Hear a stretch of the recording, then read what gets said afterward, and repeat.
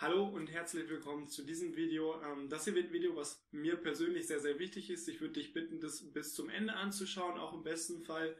Ähm, ich möchte heute über das Thema sprechen, Trading, generell Trading-Szene, wie die öffentliche Darstellung ist, wie die öffentliche Wahrnehmung ist und ja, meine Empfehlung oder vielleicht auch meine Hinweise an dich.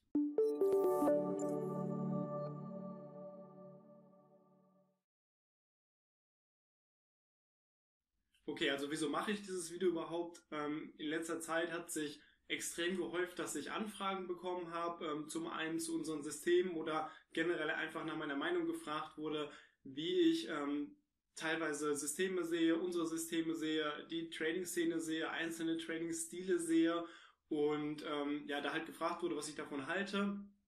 Und vor allem geht es halt auch immer in die Richtung, dass Leute mich fragen, ähm, mit welchem System kann ich jetzt zuverlässig Geld verdienen, welches System beschert mir zuverlässig Gewinne? Oder es geht dann ähm, in die Richtung, dass gefragt wird, äh, welche Trading-Ausbildung ist gut, was hältst du davon? Und Leute kommen einfach zu mir und sagen zum Beispiel auch, dass sie Trading-Ausbildungen gemacht haben und danach leider nicht erfolgreich handeln können. Und ähm, das ist, denke ich mal, ein ganz, ganz wichtiges Thema, weil es gibt einfach sehr, sehr viele Leute, die da enttäuscht sind in dem Bereich. Und ähm, Jetzt haben wir zum Beispiel auch, und darauf möchte ich gleich eingehen, ein, eine Nachricht bekommen, die ich möchte Ihnen gleich zeigen, auch nochmal ganz kurz kommentieren, aber nicht ausführlich, ähm, wo wir auch persönlich oder ich halt auch angegriffen wurde und wo halt einfach gesagt wurde, dass die Systeme nicht gut sind. Und ich finde es ähm, sehr, sehr schade, beziehungsweise möchte halt einfach nochmal generell ähm, sagen, was ich von diesem ganzen Thema halte und vielleicht auch ähm, nochmal dir einen Hinweis geben. Also generell diese ganze Trading-Branche, das ganze Thema wird über das Marketing von Unternehmen, die ähm, Kurse verkaufen wollen oder Broker oder ähnliches, wird es einfacher dargestellt, als es ist. Und ähm, auch Kurse, Trading-Kurse oder so, die dann halt über ein, zwei Wochen gehen, können natürlich niemals das Wissen vermitteln oder ähm, ja rüberbringen, das du brauchst, um halt wirklich konsequent jeden Monat damit Geld zu verdienen.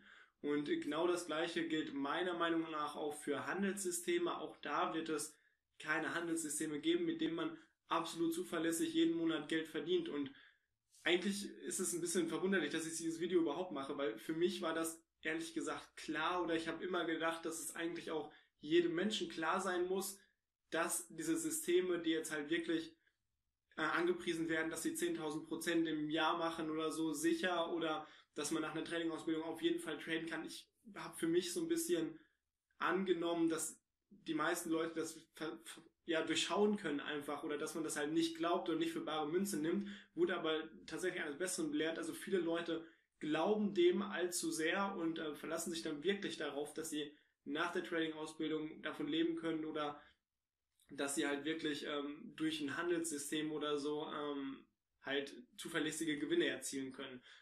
Das gibt's meiner Meinung nach nicht und ähm, wir versuchen immer deswegen das sehr, sehr offen und ehrlich zu kommunizieren. Deswegen mache ich auch dieses Video und deswegen ist es für mich auch tatsächlich so ein wichtiges Video, weil ich vor allem in letzter Zeit oft darauf angesprochen wurde und ähm, da einfach nochmal ein bisschen vielleicht die Leute, ähm, die, die Sensibilität dafür nochmal ein bisschen ähm, schaffen möchte, dass man das vielleicht einfach nochmal ein bisschen kritischer hinterfragt und dafür sollte dieser Kanal eigentlich am Anfang auch stehen irgendwann, dass ähm, man halt wirklich alles hinterfragt, was man gesagt bekommt und man sollte halt zum einen immer die Leute hinterfragen, die das erzählen, ähm, ob das jetzt Coaches sind oder so. Ich reite in letzter Zeit so viel auf Coaches rum. Ich will das gar nicht so schlecht sagen, aber man sollte generell einfach sowas alles hinterfragen und auch natürlich die, die Message oder die Inhalte hinterfragen und es ist halt ähm, nicht immer angeraten, einfach Sachen von anderen zu glauben und zu übernehmen. Ähm, es sei denn, man hat halt wirklich mal einen vernünftigen Beweis, den man aber halt nicht oft geliefert bekommt, dass das Ganze tatsächlich funktioniert. Und auch dann muss man sich noch die Frage stellen, ob man das überhaupt eins zu eins für sich übernehmen kann oder ob es da vielleicht bei dem oder derjenigen andere Voraussetzungen gibt. Okay, das war jetzt nochmal generell ähm, zu dem ganzen Trading-Thema. Ich will jetzt nicht sagen, dass man damit überhaupt kein Geld verdienen kann oder so. Ich will, es ist mir einfach wichtig, diese, ähm, wie gesagt, dieses Bewusstsein einfach nochmal zu schärfen, dass es halt tatsächlich nicht so einfach ist und dessen sollte man sich bewusst sein. Da ähm, möchte ich auch nicht irgendwie Träume zerstören oder so, aber einfach die Leute warnen, dass sie jetzt nicht in eine falsche Richtung gehen oder so und sich da verzocken und ähm, dann im Endeffekt unglücklich werden. Dann möchte ich jetzt nochmal auf eine Sache eingehen. Ähm, dafür muss ich mal kurz ähm, nachschauen. Und zwar wurde jetzt unter einem ähm, Facebook-Post von uns kommentiert. Also wir haben tatsächlich eine, eine Facebook-Seite, die wir ähm, nicht wirklich sehr aktiv betreiben. Trotzdem kannst du natürlich gerne auf Facebook gehen und die Seite liken, dann äh, kriegst du da Bescheid, wenn wir was sagen. Aber es soll halt eigentlich um diesen äh, Kommentar gehen. Ich werde den im Video einblenden, ähm, werde den Namen von dem Kom Kommentator auch ähm, unkenntlich machen, auch wenn ich das tatsächlich nicht muss, wenn er es auf Facebook postet. Aber ich will ihm einfach die Möglichkeit geben, den Kommentar vielleicht nachträglich noch runterzunehmen. Ansonsten, wenn du den Namen wissen willst, die auf Facebook, der steht da ja halt öffentlich.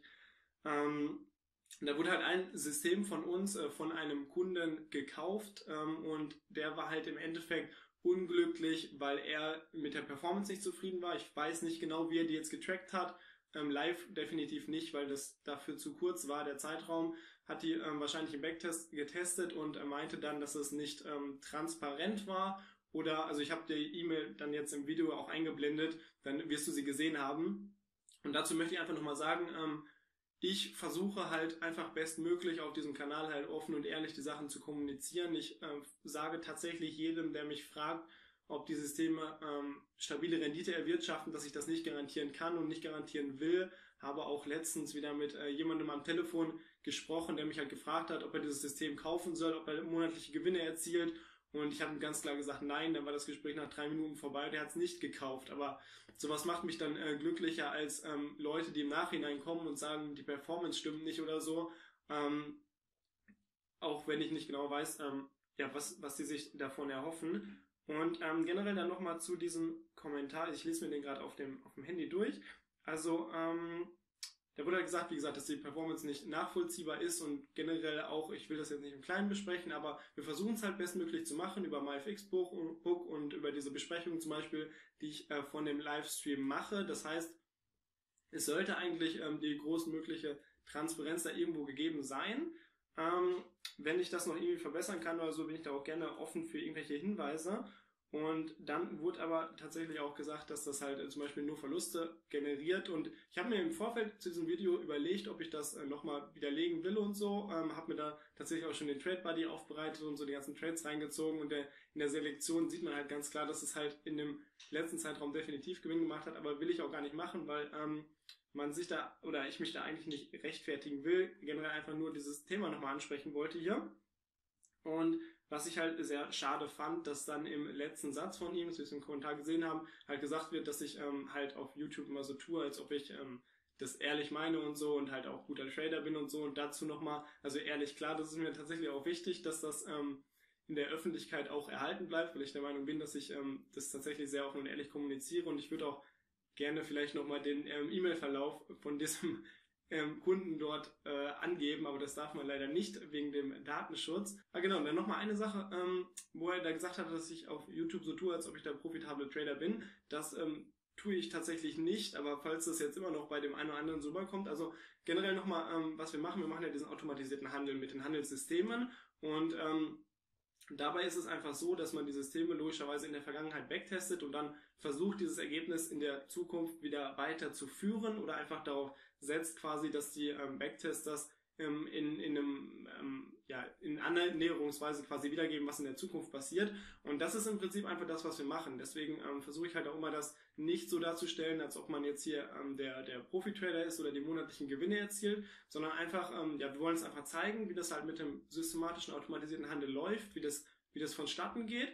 Und ähm, ja, das versuchen wir halt einfach zu machen, aber es geht jetzt nicht darum zu zeigen, dass wir halt jeden Monat so und so viel aus dem Markt ziehen oder so, das ähm, können wir halt leider schwer garantieren. Von daher versuchen wir das auch gar nicht irgendwie zu propagieren, sondern sehen uns halt eher in der Schiene, dass wir da ähm, einfach auf den automatisierten Handel aufmerksam machen, die Vorteile darstellen und den halt zeigen. Und dann, ja, klar, also wenn wir Systeme ins Laufen schicken oder auch diesen Livestream und so, klar, versuchen wir da jetzt keinen Schrott zum Laufen zu bringen oder so, äh, logischerweise auch unser Geld irgendwo handelt.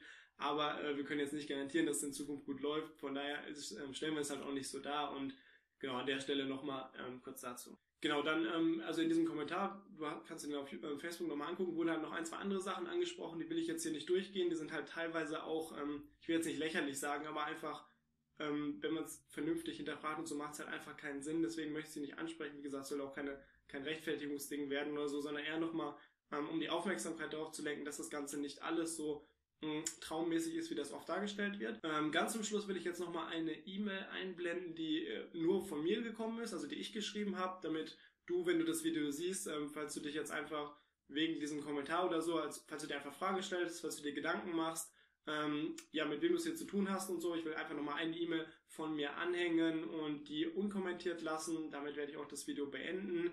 Ich äh, würde mich ganz besonders freuen, wenn du deine äh, Meinung in die Kommentare schreibst. Also vor allem halt zu dem Thema, ähm, wie du das siehst mit den, mit den Trading Coaches und so. Also ich bin bisher halt immer hergegangen und habe gesagt, ähm, die Leute können ja erstmal alles anbieten im Endeffekt, weil jeder muss ja selber überlegen, ähm, ob er es kaufen möchte und so. Ich habe aber auch ehrlich gesagt immer so den Gedankengang gehabt, dass viele Leute das ein bisschen kritischer hinterfragen, als sie scheinbar tun. Ähm, also schreib mir bitte deine Kommentare am besten unten in dieses ähm, Kommentarfeld bei YouTube, wie du das siehst. Oder siehst du es so, dass die Leute eher noch ein bisschen mehr ethische, soziale Verantwortung haben, wenn die Trading-Seminare oder Coachings oder so anbieten.